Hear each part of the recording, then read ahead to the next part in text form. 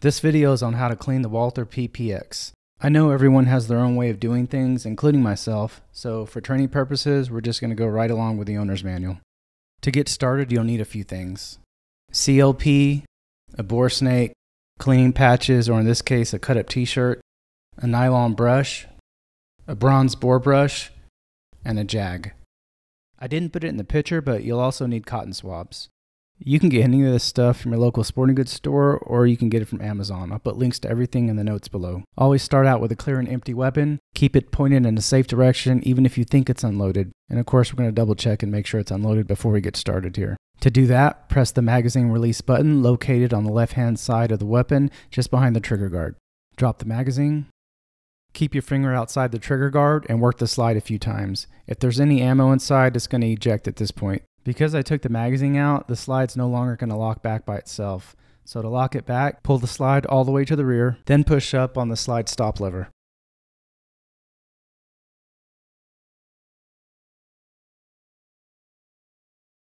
Rotate your takedown lever to the 6 o'clock position. Now press the slide stop lever downward and guide the slide off of the frame.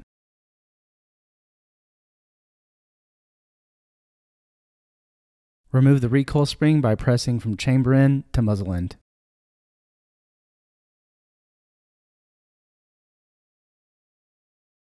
Now you can just grab onto the lug and pull the barrel right out. And this is as far as you need to go for a basic field strip. You have your slide, your barrel, your recoil spring, and your frame. And also your magazine, which is off screen right now. You don't need to clean these parts in any particular order, but I'm going to start with the frame today. Add CLP to a nylon brush and start scrubbing the frame inside and out all surfaces.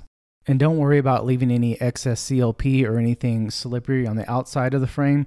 You're going to wipe all of that off. The outside of the frame is going to be totally dry when you're done. You just want to get off all the dirt and fouling for now. You want to be very thorough on the inside of the frame. Pay particular attention to the front and rear rail guides and anything that you see evidence of metal on metal wear.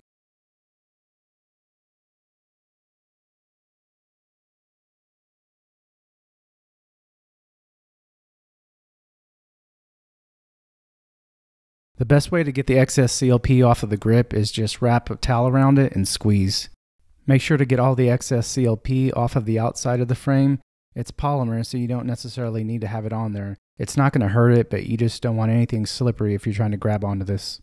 Now I'm going to go through in fine detail with a clean cotton swab. When this one gets dirty, I'll toss it, grab another swab, add CLP to it, and keep repeating the process until the swabs start to come out totally clean. Now that the frame's totally clean, I'm going to add one drop of CLP to all four slide guides and also the front and rear of the trigger bar. Let's get started on the slide. Add CLP to your nylon brush and start scrubbing all surfaces, inside and out. Clean everything well, but give special attention to the rail channels. Me and the guys from my squad shot this gun all day long, so right now it's filthy scrub the breech face really well, but make sure you don't leak CLP down into that channel that the firing pin comes out of. I'm being really careful cleaning the breech face, but if you think you need to, turn the slide pointed muzzle downward just to make sure CLP won't leak down into it.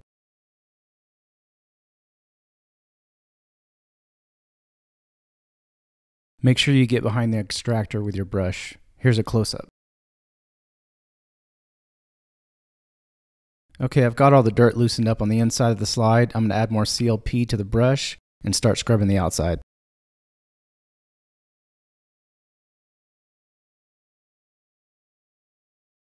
I'm going to wipe off the excess CLP from the slide.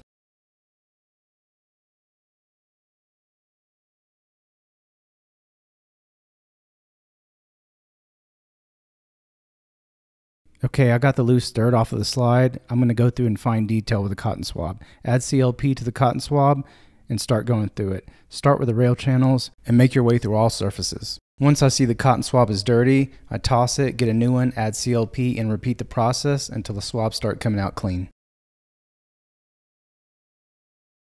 Once the slide's clean, put one drop of CLP on the safety plunger, one on the disconnector cut, and one on the stripper rail. Now I'm going to clean the recoil spring. It's actually called the recoil guide rod assembly, but that takes too long to say, so I'm just going to say recoil spring for short. Add CLP to the nylon brush and start scrubbing the coils, then scrub both ends. Wipe it off and you're done. Grab your bore brush, make sure it's bronze or nylon. Don't use steel or anything like that. Make sure it's the correct caliber. On the side, it's going to say 357 like this one, 9mm, 38, or 380. Attach it to your cleaning rod. As you're pushing the brush through the bore, make sure you're holding onto the rod by the handle. This is going to allow the bore brush to spin freely within the rifling. If you were to just grab the rod and push the brush straight through, the brush is going to scrape right on top of the rifling and you won't get a thorough clean. Now I'm only going to push the brush through in one direction, chamber in to muzzle in.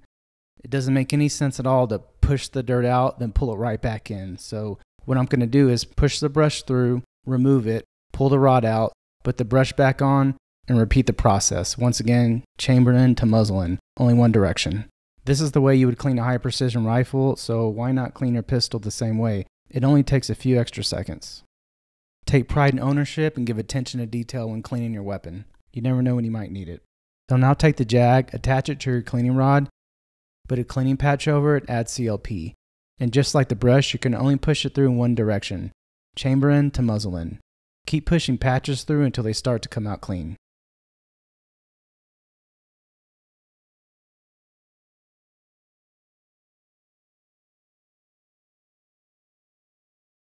Once the bore is clean, add CLP to the nylon brush and scrub the outside of the barrel.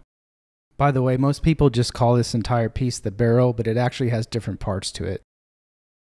That's the lug, that's the feed ramp. This whole thing is called the chamber, the top of it's called the hood, and the inside is called the bore. This feed ramp is really dirty right now, so I'm going to use the nylon brush and scrub it the best I can. And if that doesn't work, I'm going to get my rag and dig my fingernail into it. And if that still doesn't work, I'm going to get the bronze bore brush and just lightly go over it and scrape the feed ramp just a little bit, then wipe it off with a rag and it should be spotless. Now, I said I do everything per the owner's manual, but I do take one little extra step just to be thorough. I use a bore snake. It's really great for removing any excess CLP that may still be inside the bore because you don't want excess CLP inside it. You want the bore to be dry. So if you choose to use the bore snake, make sure you're using the correct caliber. In this case, it's going to say 9 millimeter right there in the weighted in. Just take the weighted in, put it in from chamber in to muzzle in, grab the weight from the other side, and pull it through. Do this a couple times, and you should be good to go. And this is why I use a bore snake. It looks perfect, not even a speck of dust in there. Looks like black glass. Apply a light coat of lubricant to all outer surfaces, especially where you can see metal on metal wear. It's not necessary to disassemble the magazine every time I clean. If I dropped it in mud or dirt or sand or something like that, of course I would, but in this case it just needs a wipe down. So I add a little bit of CLP to the rag and I go through all outer surfaces the best I can and I'm very careful not to leak CLP down into the follower or the witness holes. I'm going to give it one final wipe down with a dry rag just to make sure there's no excess CLP left on the magazine. If you do need to disassemble the magazine, it's not very hard. I don't think you need a video to do it. Just find a punch or similar tool, press that button at the bottom of the floor plate, slide the floor plate off. The spring and follower will come out, clean it, and put it back the same way. And just like the outside of the magazine, you don't need to leave excess CLP inside the magazine or any of the parts inside. Put CLP on it, clean it off, but make sure it's dry when you reassemble. And this is just the button I was talking about in the bottom of the floor plate. Now that all the parts are clean, it's time to reassemble. Take the barrel and put it back in the slide. Make sure you have the correct lockup, meaning it should look just like that. Now grab the recoil spring. The small end goes to the muzzle end. Of course, that flat part goes to chamber end. Push it in muzzle end first, then release tension on the spring, and it should look just like that. Now, before you put the slide back on, make sure the takedown lever is pointed down in the six o'clock position. I say that because sometimes it moves up by itself, or maybe you accidentally moved it like I did. Anyway, make sure it's down in six o'clock position, grab the slide, line it up with the rails, and pull it all the way back to the rear. Once the slide is in the rearmost position, push up on the slide lock to lock it in place. Return the takedown lever to the original position. Release the slide stop lever and let the slide go home. Let's do a function check. Pull the trigger. You'll feel and hear it click, but don't let it go. Work the slide. Release the trigger. You'll hear it click, pull it again, the hammer drops, you're good to go. I also like to make sure my slide's going to lock back on an empty chamber, so I insert an empty magazine, pull the slide back, and it should lock back. It does, so I'm going to release the slide stop lever, let the slide go home, and I'm done.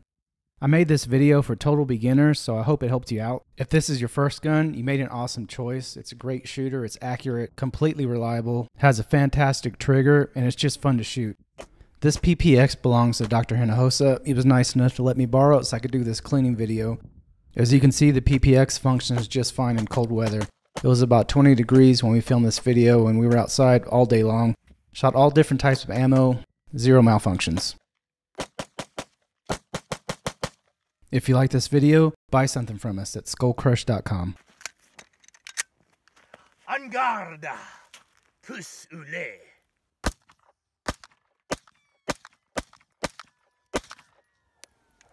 Shit! I never miss.